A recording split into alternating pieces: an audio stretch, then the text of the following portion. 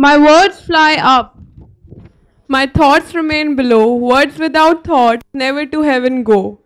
Team Garuda presenting quadcopter based navigation using Aakash tablet with onboard image processing.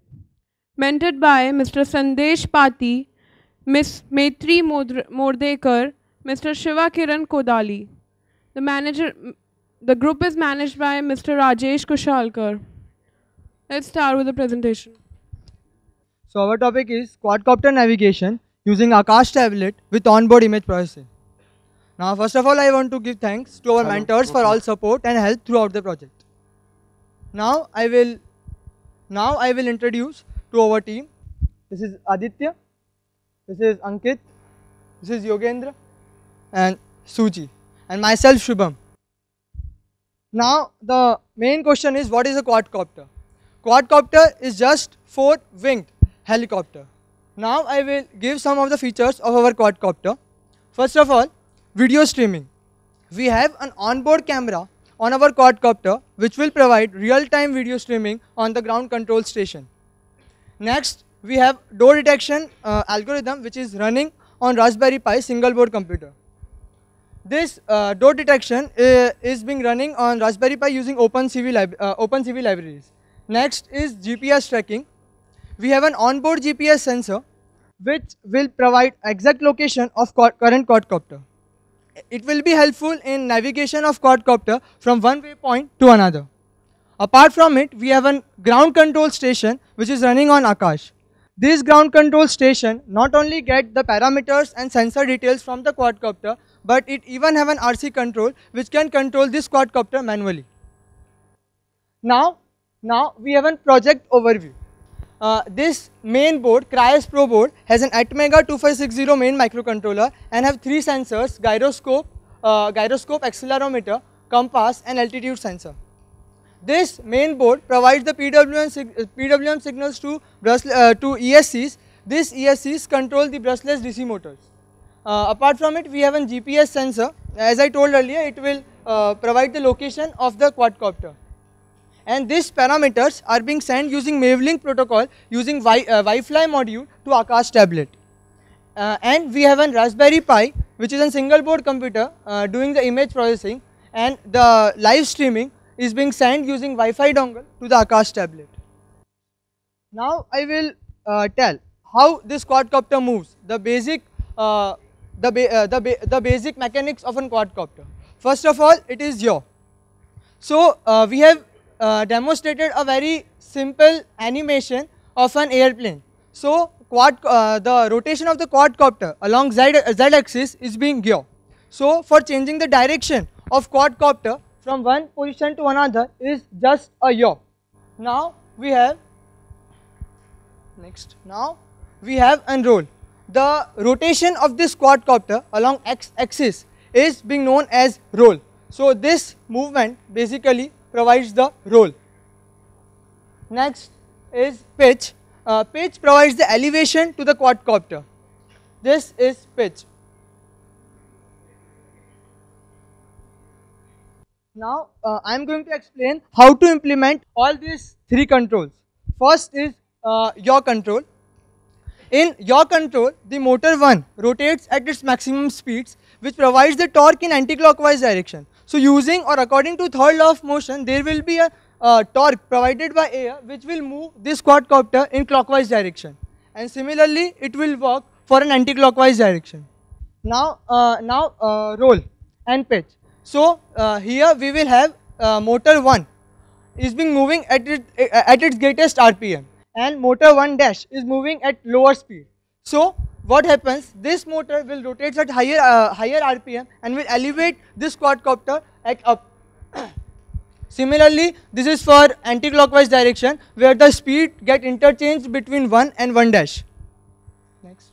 Huh. Now we have pitched the quadcopter. Now our task is to elevate it further. So when it was on a certain altitude, there was a vertical component. But when it get pitched up, so there the component get divides into two parts, horizontal and vertical component. So we need to have some thrust so that it can move upwards. Huh. Now it is uh, altitude control.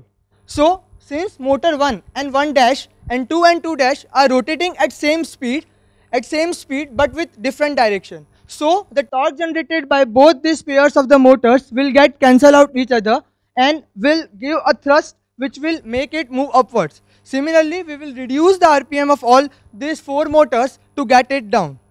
Now, uh, now there are some of the uh, some of the elements which are very important for flying this quadcopter. We will be starting with propellers. So we have uses two pairs of uh, propellers, uh, uh, one uh, clockwise and another is anti-clockwise. and there is a very very essential condition to balance the length and the pitch of these propellers. Because greater the length and greater the pitch of these propellers, more amount of thrust will be provided, more power will be consumed. But to have a fly for some duration of time, we need to maintain both these things, power and length and pitch. Next is uh, electronic speed controller. Electronic speed controller provides the signals to run the brushless DC motors. Uh, the, uh, the, the signals generated by these uh, electronic speed controllers are of 50 Hz to 400 Hz and the pulse duration for this is from 1000 uh, microseconds to 2000 microseconds. Now we are moving to the sensor part of our quadcopter uh, starting, starting with uh, accelerometer and gyroscopes. So basically what is an accelerometer? Accelerometer provides just the acceleration of all the three axes. But, uh, and using this acceleration and human friend trigonometry can easily do our work. But the main problem is vibrations. Uh, the, uh, during the flight of quadcopter, there are a lot of vibrations being generated. Due to that, we can't have a stable uh, all the orientations. So to get it, we need to attach, uh, attach a gyroscope. But, uh, but gyroscope even have a problem of drift. Even when quadcopter is stable, it will provide non-zero values. So to, to eliminate it, we have to use various algorithms which will be uh, explained further to uh, reduce this noise. Now uh, we got uh, del x, del y and del z means all the translation in all the three axes and orientations. Now we need to know where our uh, quadcopter is currently, direction of this quadcopter. So this is being provided by magnetometer. This magnetometer provides uh, the magnetic field of all the three axes, x, y and z.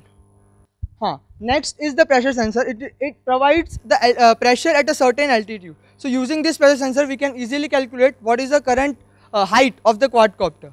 So this will uh, completely provides an uh, 10 axis IMU. Uh, it will provide uh, translation of all the three axes, orientation, the direction of the quadcopter and the altitude of the quadcopter. Uh, as I told earlier, we have used GPS sensor for, providing pro for providing the uh, current location of the quadcopter. So GPS uh, sensor uses triangulation method.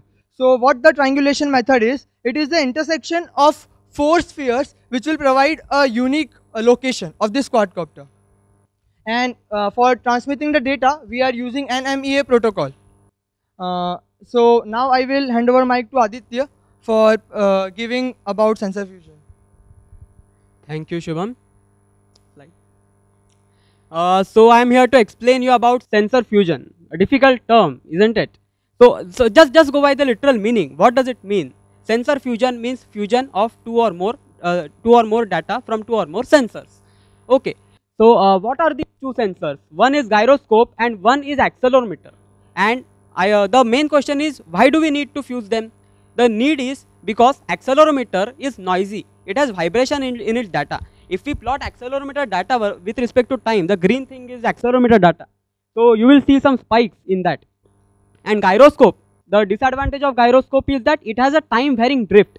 The uh, blue thing, the blue or red, anything, uh, it, it is the guy, uh, gyroscope data, it has a uh, non-zero drift, time varying drift. Uh, first of all, why do we need this uh, accelerometer data and uh, gyroscope data? Well, we need them because of uh, we need the orientation of the quadcopter, whether it is inclined like this or like this or like this. One tilt here and the quadcopter can go hundreds of kilometers away in space. So, so, that, so that, that is a very important point. Now I am going to uh, tell you about uh, a difficult filter, apparently difficult but uh, functionally simple, complementary filter. I said that accelerometer data is noisy, it has vibrations. What does it mean? It is reliable over long term, not reliable over short term. Gyroscope data has a time varying drift. That means it is reliable over short term. It is not reliable over long term. time is inverse of frequency and hence we pass the accelerometer data through low pass filter and the gyroscope data through high pass filter. Now uh, this is this is known as complementary filter and it is used in this uh, uh, it is the algorithm uh, being used in this quadcopter to provide orientation. Uh, so this is very simple but don't what can I say misunderstand its simplicity because you must have seen that PSLV launch some days back PSLV launch of India you will be surprised to believe that the algorithm which is being used in PSLV has the same mathematics as that being used in this quadcopter.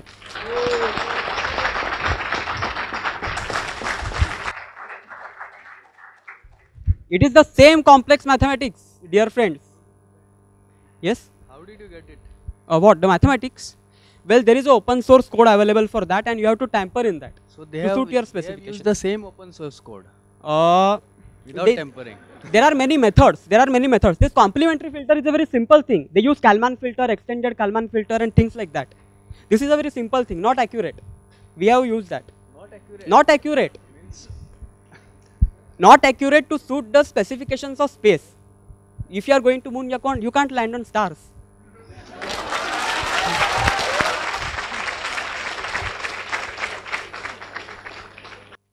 So DCM, direction cosine matrix. In layman's language, in common man's language, this is just a third order complementary filter.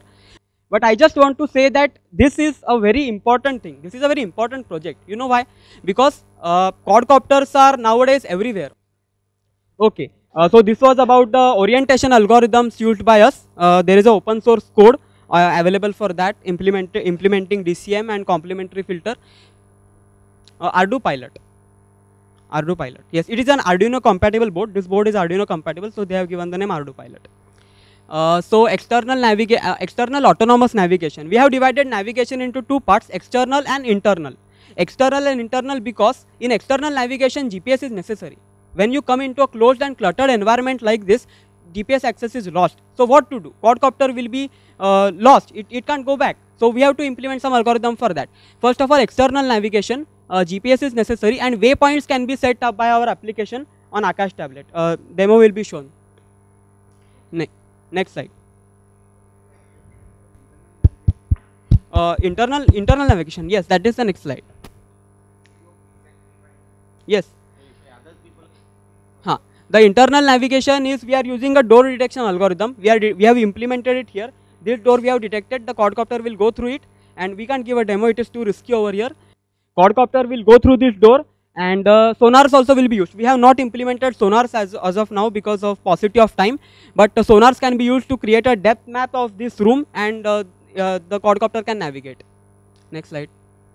So this is the door detection algorithm used and this is the FC Kohli door uh, here and uh, the door has been detected the centroid we have mapped the centroid quadcopter we have we uh, in future we have not designed we we plan to design a PID control algorithm a PID controller so that uh, it can uh, go through its centroid. We have to map the image centroid to the real time data.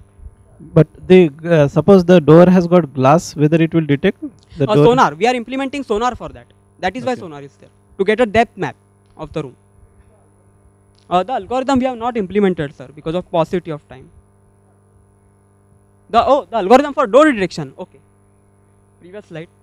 Well we attempted uh, we uh, used many things like uh, we uh, used machine learning. We did Haar Haar training and um, Haar training Haar cascade classifier. Haar class ca- cascade classifier. And we even use lbp features. LB, the uh, result by lbp was slightly faster. Next slide. The result by lbp was slightly faster but the fps was too low to consider for real time uh, real time thing we even used uh, feature matching by surf but that was even slower than Haar so at last we had to settle on the uh, geometric properties of the door. Like uh, this door is a quadrilateral. We are detecting that it is a quadrilateral. Uh, there is a area there is a limitation on area. So, you, uh, the, the the door is open. But The door is you- open, the You, are using OpenCV, correct? yes this is Uh, OpenCV So suppose I have got a poster which is printed a door photograph. What will happen? Uh, that that will be covered in the PID control algorithm sonar now Suchi will explain about PID Now we move to uh, PID control, PID tuning. The PID is an acronym for proportional, integral and derivative, the mathematics term. uh, we have PID controllers in our board and we try to tune them using our uh, through our ground control station that is the Aakash tablet. Uh, why do we need PID tuning? We need PID tuning uh, for the smooth and stable flight of, a, of the quadcopter. We want to get the optimum or the desired behavior of the quadcopter, whether it be in terms of its altitude, its tilt or angle. And how does the PID uh, work in the quadcopter? Uh, we it actually reads the data from the sensors and also from the input that it get, gets from the ground control station, compares the two, gets the error, and according to the error, it gives the correction. Next, please. And that uh, we have three parts of the PID tuning: the proportional part, integral, and the derivative. Talking about the uh, proportional correction, it is the immediate correction. It gives the correction which is directly proportional to the error. As we can see through this, the alti uh, altitude is uh, uh, the actual altitude is, is very very far away from the target one. So according to the error, that is the difference. It will generate the correction so that our quad reaches the uh, desired one. Next, please. That's the integral one, the overtime correction. Suppose our quad reaches uh, is somewhat very quite close to our desired altitude, but uh, changing the p parameter is of no help. Then we can use that integral error. It uh, integrates, uh, it uses the cumulative error, and according to it, it gives the correction so that we may overcome the zero steady error correction. The next one, derivative part. Suppose the correction term that we are using, it's uh, increasing or decreasing at a very rapid rate. And we want to slow down on that. Otherwise the quadcop movement is going to overshoot it. It's a desired one. Then we use the derivative control. We simply alter tune the uh, d parameter gains. And the pid gains are very important because without it the quad may either it's it's going to be very wobbly it may even topple over or it may become very slow or untamable. Now we move to the telemetry section Coming to the communication part, so uh, we are using uh, Mavlink for the communication protocol. So it is a protocol for communication between our ground control station that is uh, on the Aakash tablet with the um, quadcopter. So uh, we can like set the different the flight parameters and uh, various sensor data we can be getting through this Mavlink itself. So uh, coming to the interfaces of our app, the first interface is the RC interface. Uh, this interface enables the user to control the quadcopter using a virtual radio controller itself. Also, the user can uh, use the navigation menu to switch between the different activities and he can also use the another navigation menu to switch between the different uh, flight modes that we are having. The other interfaces includes the planning interface and the flight data interface. In the planning interface, uh, the user can set different waypoints through which the quadcopter will be covering. And in the flight data, we have implemented uh, an HUD, that's a head-up display. It gives us the data of the, uh, as in uh, the flight data of the quadcopter. And in the second part, it shows uh, what, uh, it keeps a track of the waypoints that is being covered. Other interfaces includes the charts interface and the camera feeds. In the charts interface, whatever the sensor data that we are being getting from the quadcopter, those are being plotted along the graph. And in the camera feeds, we are getting uh, live uh, video streaming from a Raspberry Pi uh, camera uh, to the Aakash tablet. Uh, next. So now I would give Aditya to tell more about it.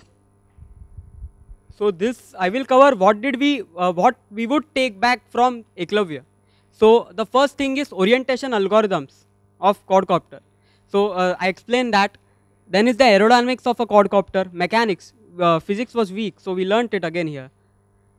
Configuring a wireless camera. So we have put a, a Raspberry Pi camera. Uh, Raspberry Pi has its own inbuilt uh, small camera, 5 megapixel camera, and a USB camera we have interfaced with Raspberry Pi. Uh, but for a safety purpose, we also we also interface Cisco wireless camera and we configured it. Next thing is we explored image processing techniques in detail. We used OpenCV and we tried out different algorithms. Next thing is uh, streaming the video feed of a USB webcam, Raspicam over a lo uh, local area network through MJPEG streamer that will be shown in the demo. And a new way of thinking and questioning things. And the last is a new communication protocol called Mavlink. So uh, challenges faced, implementation of Haar training for door detection. So uh, this was a very big channel because uh, big, big challenge because Haar training uh, usually requires something between four days to one week and that is that that too only on a database on a 500 Okay. images. Okay, next slide. Sir, wind up. Next slide. Further prospects making Garuda autonomous using GPS based sensor, designing a PID controller for internal navigation, face recognition in the feed received at the Aakash end, and recording the video feed at the Aakash tablet and processing it. The last two could not be done because we were using uh, Android package for OpenCV and it only uses a hardware camera. But uh, we were getting a video feed and not the uh, uh, feed from hardware, so that was not implementable. Uh, so uh, these are the references and now we will show the demo video. Can I uh, have the lights off please?